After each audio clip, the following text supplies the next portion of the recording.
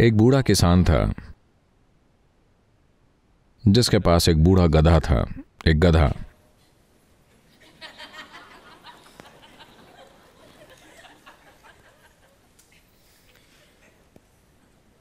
तो एक दिन ये गधा एक खुले पड़े कुएँ में गिर गया।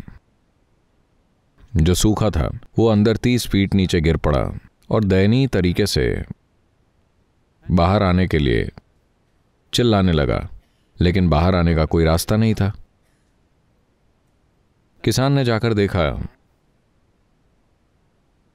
ये बेवकूफ़ गधा कहीं का कुएँ में जा गिरा है।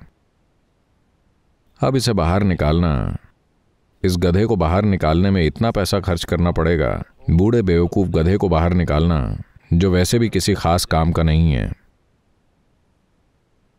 उसने सोचा, कि इस गधे को बाहर निकालने का क्या फ़ायदा? वैसे भी एक दो साल में ये मर जाएगा, ये कोई काम तो करता नहीं। इसके रिटायरमेंट का समय आ गया है। किसी को रिटायर्ड गधे में कोई दिलचस्पी नहीं होती। काम का गधा चलेगा। रिटायर्ड गधे में किसी को दिलचस्पी नहीं है। तो उसने अपने दोस्तों और पड़ोसियों को बुलाया और कहा, इस कुएँ को भर देते हैं। क्योंकि वैसे भी कुआँ सूखा हुआ है, गधा बूढ़ा है, इसे ढक देते हैं। तो वो सभी फावड़ा लेकर आए और फावड़े भर भर के उन्होंने कुएँ में मिट्टी फेंकना शुरू किया। डरे हुए गधे ने बाहर आने के लिए वाकई ज़ोर ज़ोर से चिल्लाना शुरू कर दिया, लेकिन उन्होंने गड्ढे को भरना शुरू कर दिया।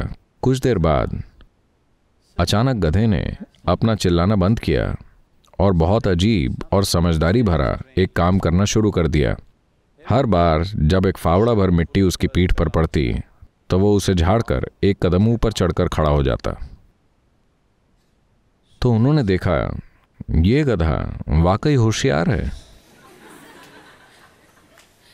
हर बार एक फावड़ा मिट्टी अंदर जाती, एक कदम ऊपर, एक कदम ऊपर, वो बाहर आने लगा।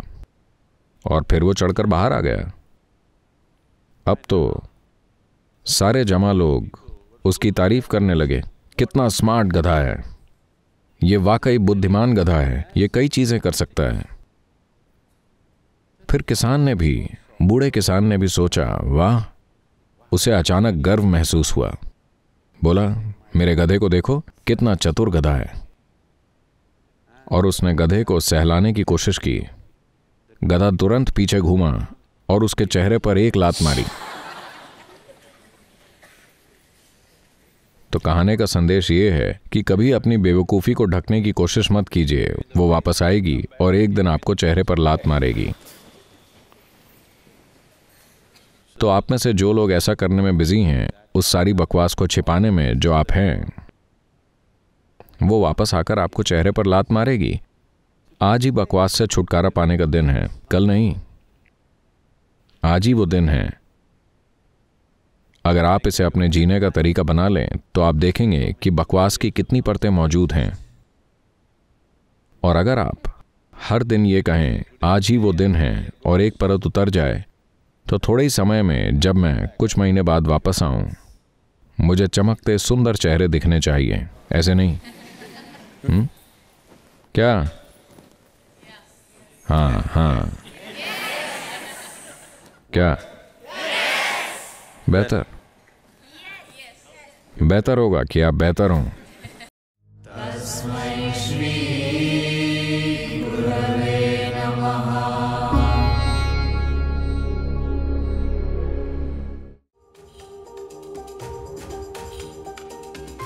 कुछ चीज़ें हैं जिन्हें आप उनमें छलांग लगाकर ही जान पाएँगे। अगर आप अपने चारों ओर मौजूद इस ऊर्जा को अपनी सांसों से भर लें तो जीवन की भौतिक प्रक्रिया भी कई मायनों में परिवर्तित हो सकती है। हम केवल सांसारिक से रहस्यमय की ओर, तार्किक से जादुई की ओर बढ़ने की बात कर रहे हैं।